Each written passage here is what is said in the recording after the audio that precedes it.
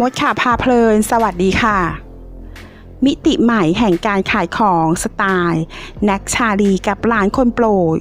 งานนี้หาทั้งโซเชียล หลังจากกลับมาติดกระแสมีชื่อเสียง อีกครั้งหนึ่งนะคะสำหรับแน็กชาลีไตรัตน์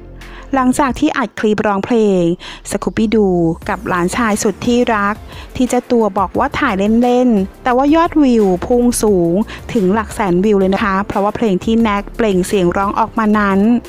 ช่างไม่ธรรมดาจริง ๆ เลยค่ะจนเจ้าตัวต้องเตือนเลยนะคะว่าใครดูคลิปจบ แนะนำให้ไปพบแพทย์ด่วนๆเลย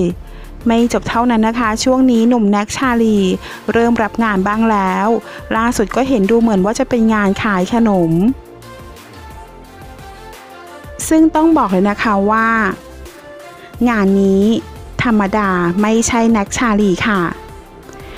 งานนี้เอาหลานคนโปรดมาช่วยขายของด้วยนะคะ โดยสร้างสถานการณ์ล่องเรือ พาจนภัย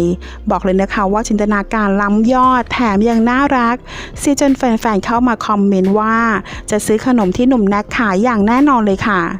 จริงๆ แล้วหนุ่มแน็กของเราถึงแม้จะติสไปหน่อยนะคะ แต่ว่าก็มีไอเดียสร้างสรรค์มากๆค่ะ จะตลกจะฮาขนาดไหน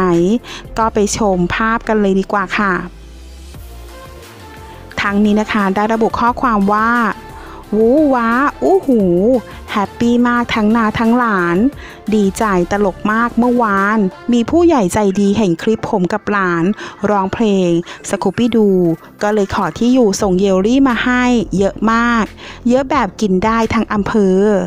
และที่สำคัญผมกินจริงๆ ปกติก็ซื้อมากินกับหลานบ่อยๆ แทบทุกแบบอยู่แล้ว